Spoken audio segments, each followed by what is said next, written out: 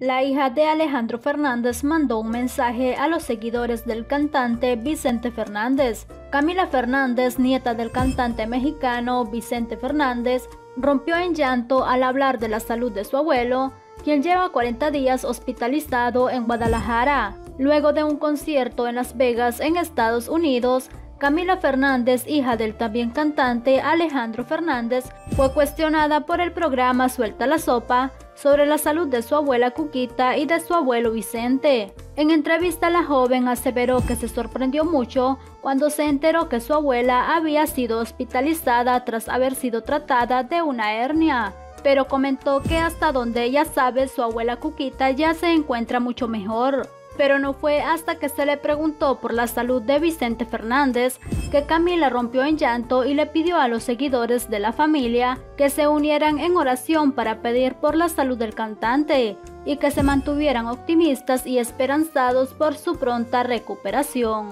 Recen mucho por él, que los necesita tanto como nosotros necesitamos de él, que ahorita no podemos hacer nada, pero queremos verlo bien y esperemos que todos nos manden fe y la esperanza que nosotros también tenemos, comentó Camila Fernández. Además, Camila confesó que toda la familia Fernández se encuentra muy unida y al pendiente de su tata, puesto que siempre le escriben y mandan mensajes para que sienta todo el amor que le tiene su familia y lo mucho que se preocupan por él.